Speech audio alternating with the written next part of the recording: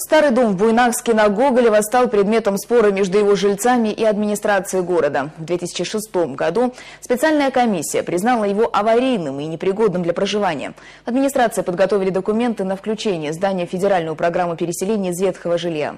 Когда уже все было готово и оставалось только переехать, против этого выступили некоторые жильцы многоэтажки. Почему? Разбиралась Сакинат Малаева.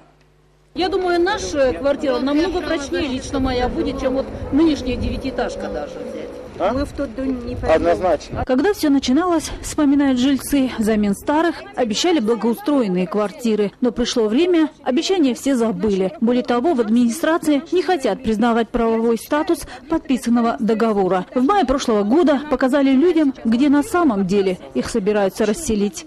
Это были каркасы голые, без всяких удобств, без всяких коммуникаций, без всего. Ремонт жильцам предлагают сделать самим, но деньги выделили. На каждый квадратный метр по 2000 рублей. Но на эти средства невозможно сдать под ключ квартиру и установить все коммуникации, говорят жильцы. Придется тратиться дополнительно из собственного кармана. В поисках справедливости переселенцы обращались в разные инстанции. С Министерства ЖКХ отреагировали. Они приехали, сразу провели полностью проверку всего, облазили все от подвала и до крыши. Вот, они дали акт нам в руки, постановление о том, что дом не подлежит заселению до момента устранения всех нарушений. По 21 пункту есть нарушение. В конце так и написано, что дом представляет собой угрозу жизни и здоровью людей.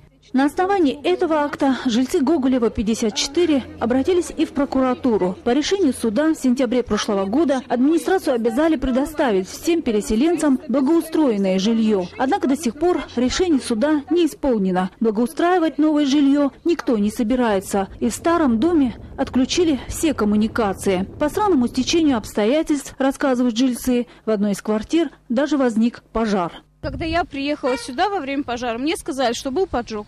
В администрации своя правда. Говорят, когда начинали переселять людей из ветхого жилья, всех все устраивало. Теперь дороги назад нет. Слишком много потрачено средств. В муниципалитете нашли альтернативу. Компенсация за неблагоустроенные квартиры. Кроме денег, еще и надбавка квадратуры. То есть есть квартиры, которые жильцы, которые значит, имели а, собственности 34 квадратных метра, а получили 63. Однако такая перспектива ждет далеко не всех. К примеру, большая семья Хадисовых, детей 11 человек, вынуждена переехать в другой ветхий дом. Многодетная мать здесь проживала с разрешения администрации временно, без документов. Дочь репрессированных в свое время родителей, а затем и реабилитированных, возмущена несправедливым к ней отношением которые они должны были до 2005 года, кто стоял в очереди. И я как репрессированных людей, родители, как реабилитированные, должна была получить мне очереди. Тогда, если они мне это не дают, мне жилье, тогда пускай моих родителей, которые здесь через суд, были у меня двухэтажные дома в центре города, а Таровец, Синокозный площадь, пускай мне вернут. Противостояние между жильцами и администрацией длится несколько лет. За это время решения таких серьезных ведомств, как Министерство ЖКХ и прокуратура, были, судя по предоставленным документам, просто игнорированы. Остается ждать дальнейшего развития событий. И, скорее всего, как и сейчас, не в пользу жильцов на Гоголева 54.